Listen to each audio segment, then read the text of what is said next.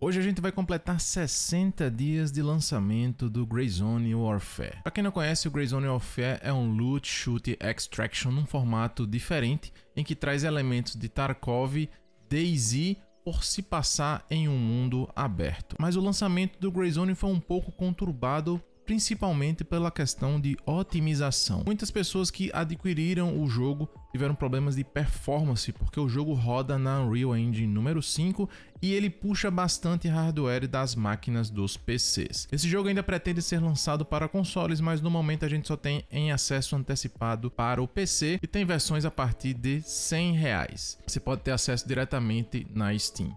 Como ela utiliza a Unreal Engine número 5, ela tem gráficos impressionantes.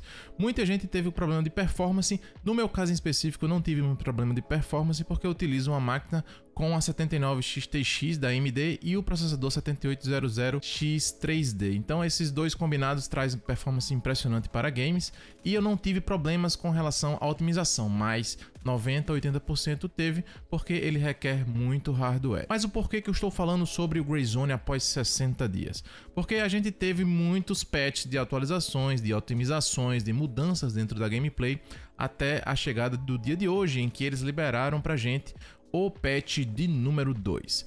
Até a chegada de hoje, a gente teve algumas mudanças, questão de otimização com o patch 001 e o patch 00, mas agora eles lançam o patch 02, que vai trazer mudanças impressionantes, como a adição de novas landing zones através do minimapa. Lembrando que a cada seis meses o Greyzone funciona de uma forma de trazer grandes atualizações, como também trazendo o wipe, que é o reset da sua conta. final deste ano está programado para chegar o Greyzone na forma noturno, o mapa com estilo noturno e também com clima dinâmico. Então isso aí a gente vai aguardar mais para dezembro. Mas eu quero focar aqui o que é que aconteceu durante esse período de 60 dias e o que é que está chegando nesse patch de número 2, hoje dia 3 de julho, você já pode baixar essa atualização. A gente teve muitas questões de má otimização, questão de stutterings é muito forte no jogo e também a questão dos servidores. Os servidores brasileiros, eu dei uma jogada hoje para poder gravar, vocês estão vendo essa gameplay aqui, foi gravado no servidor sul-americano e você não vê nenhuma questão de stuttering nem travamento. Antigamente acontecia direto, todos os servidores, principalmente até os americanos estavam acabando acontecendo, mas hoje eu joguei e não tive nenhum problema com relação a isso. Questão de stutterings também, muita gente tinha esse problema de stutterings, eu nunca tive e eu continuo sem ter esse problema de stuttering, que é quando dá aqueles micro travamentos. De vez em quando, quando você chega numa área muito tumultuada, pode ser que dê uma engasgada se você estiver utilizando os presets no máximo. Eu estava utilizando o preset no épico, que é a maior qualidade possível, e raramente acontecia de dar algum travamento, principalmente quando você entrava na maior cidade, que é a Tiger Bay, que essa gameplay aqui, eu tava tentando entrar em Tiger Bay para fazer algumas das missões, mas os próprios devs já comentaram que Tiger Bay não é uma cidade para você entrar solo, porque ela é uma cidade endgame, você precisa pelo menos mais dois ou três amigos para poder entrar enfrentar todos os desafios, porque os NPCs aqui praticamente dão hit kill, se você ficar muito parado na mesma posição, ele vai dar um shot em você. Então sempre tenta rotacionar e pegar outra posição para poder tentar eliminar a inteligência artificial. Mas então vamos lá, o que é que aconteceu durante esse período de 60 dias? O jogo começou, teve picos de 80 a 100 mil pessoas, mas hoje no estado atual a gente perdeu mais ou menos em torno de 80% dos players. Mas por que que perdeu? Não é questão de perder, e sim é um jogo que está em desenvolvimento e ele precisa acontecer atualizações. Então os picos dos jogos de desenvolvimento que estão em Early Access geralmente acontece quando chega a atualização. Quando chega um grande patch, quando chega uma grande atualização, os jogadores voltam a jogar. Esse aqui ainda não é aquele jogo que você vai estar tá jogando todos os dias, até porque ele ainda tem um conteúdo limitado, até porque o jogo está em fase de desenvolvimento. Só tem 30% do jogo pronto hoje atualmente.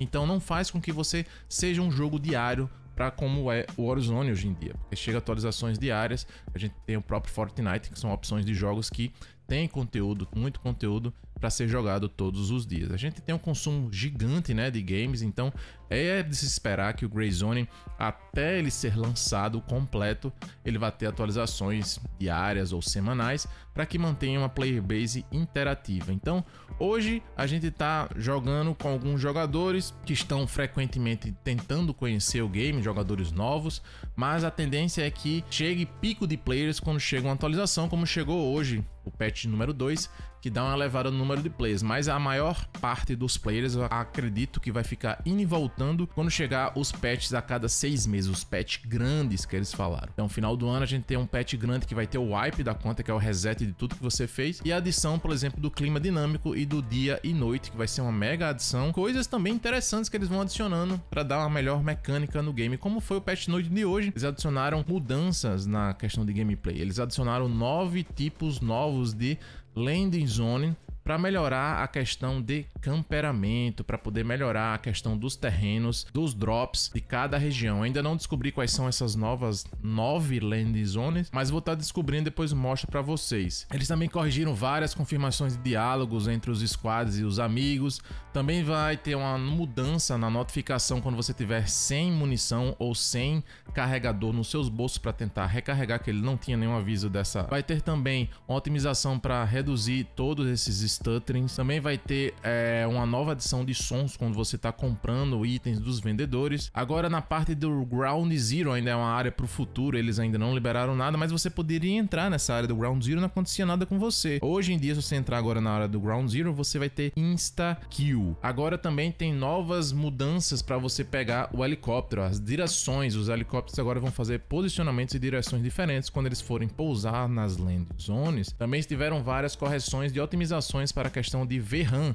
Quem tinha problema com pouca VRAM na placa de vídeo vai dar uma melhorada agora com essa questão de otimização. Agora vai ter uma confirmação do vendedor. Quando você estiver comprando, às vezes sem querer você saía no meio da, da compra, batia no botão e ele, você cancelava toda a compra que você tinha feito. Agora ele vai ter um botãozinho para confirmar se você quer sair ou permanecer na tela do vendedor com aquela compra. Agora você também pode selecionar qual modo de game você já quer entrar no jogo, se quer no jogo PVP ou no só no PVE. Você já pode deixar setado na sua tela principal. Agora vai ter uma notificação no seu menu quando players comprarem edições mais caras para você poder resgatar os seus itens. Muita gente comprava a edição mais cara não sabia como receber os itens extras da região mais cara, mas geralmente você tem que falar com os vendedores para poder receber todos os itens que estavam perdidos. Aí eles fizeram também alguns ajustes na questão de iluminação. Na iluminação média, eles deram uma melhorada e também em movimentação também. E dentro do mapa de YBL1, eles melhoraram a questão de iluminação que estava muito bugado. Também foram melhorados também algumas quests, justamente de alguns itens que ficavam nessa região. Também o Blur Effect, quando você toma tiro, nos scopes foram alinhados. E também eles mudaram a questão da Land Zone de Kilo 3 para Juliet 4, principalmente na questão de posicionamento. Agora, em mudanças que eles fizeram dentro da gameplay, agora quando você carregar o seu carregador, vai selecionar a munição que pode equipar diretamente nele. Players agora não vão poder mais lutear os NPCs na sua base, porque a galera tá fazendo exploit com relação a isso. Foi renomeado a MK18 agora para ser chamado de DDM4 para ser correspondente na vida real. Os players agora quando derem desconect ou crashar, eles já vão voltar diretamente na sua conexão, no seu servidor para que você não perca todos os seus itens. E nesse outro patch também, número 2, tiveram várias correções, muitas correções de erros, bugs, glitches, é muita, é gigante a lista. Eu vou colocar aqui para vocês darem uma olhada agora quais são essas correções para vocês darem uma lida, dar uma pausa para vocês darem uma lida do tudo que mudou, porque tem muita correção. Então, no jogo que está em desenvolvimento, sempre tem muito glitch, muito bug para ser corrigido. Tá aqui a lista de todos esses itens. Dê uma pausa aí para vocês darem uma conferida o que é que aconteceu durante toda essa atualização. Então, meus amigos, o Greyzone Warfare é isso daí um jogo que está em desenvolvimento, é um jogo muito agradável, que pretende ser muito bom quando ele for finalizado, mas que realmente a player base dele vai estar presente jogando quando chega uma grande atualização que vai ser a cada seis meses. Eu gosto muito do Greyzone Warfare, mas não tenho como trazer diariamente, vou trazer apenas quando tiver novidades como esta daqui. Meu nome é Lipe Imperador, muito obrigado por assistir até aqui, fiquem com Deus, valeu, falou!